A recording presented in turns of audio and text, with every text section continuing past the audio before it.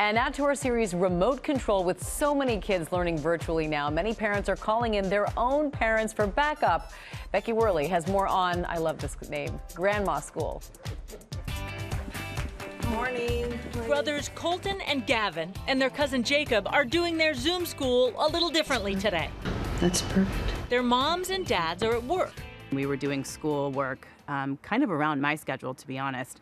But when we switched to live teaching and live instruction, it was almost virtually impossible for us to do both. So Kelly turned to her mom.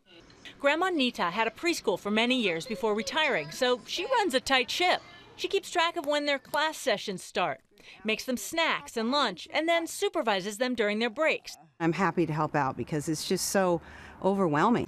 Founder and consultant for Surviving Homeschool, Delise Bernard, also enlisted the help of her own mother and says she sees many grandparents jumping in to help with virtual learning. The grandparents are a huge part of our surviving. It takes a lot of load off of a parent as a primary teacher. But maybe the biggest thing when it comes to grandma school is bandwidth issues.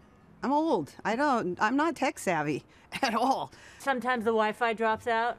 Sometimes when she doesn't know anything, I just um, show her. While grandparents helping out is a solution for some, this may only work for grandparents who are not only geographically close by to their families, but who are healthy enough to take the risk of widening their circle. I think everybody is very aware and being careful, and so it allows us to have the freedom to see them. All right, I think I want to go to gram school. And while the supervision and support for working parents is crucial, for Jacob's mom, Rachel, a high school counselor, the social benefits for the kids is a big factor too. The social emotional piece that's been so important to be with his cousins and be able to play on his breaks and after school.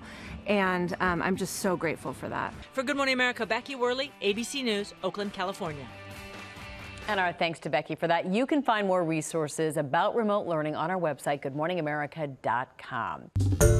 Well, hey there, GMA fans. Robin Roberts here. Thanks for checking out our YouTube channel. Lots of great stuff here. So go on, click the subscribe button right over, right over here to get more of awesome videos and content from GMA every day, anytime.